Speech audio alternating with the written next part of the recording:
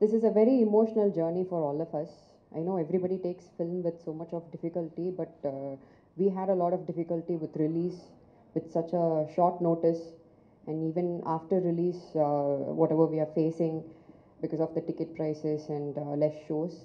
But still, the love that people is, people are showing to all of us is uh, very unexpected, and it's very genuine very very pure i know that they'll keep giving it because uh, I'm, I'm receiving a lot of messages where they are watching it for the second time for the third time. We are getting repeated audiences. And uh, uh, for i have to say about vishwak because uh, he supports every film that releases in telugu cinema without even thinking about what will happen or uh, you know who the hero is who the producers are. He just supports cinema.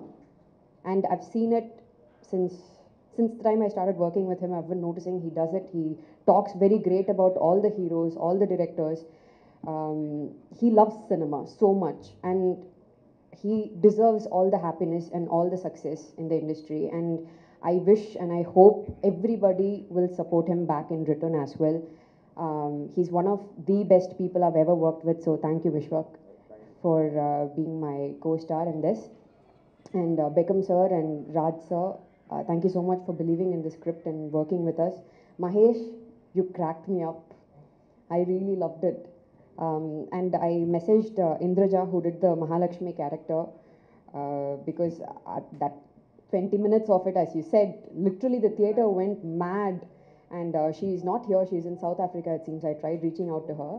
So, um, and Megha Lekha, Simran, you all did a fantastic job. So, um, I'm very proud that we made Paagal.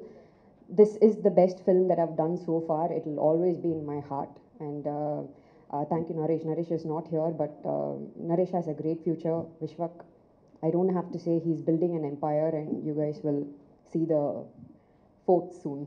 Thank you so much.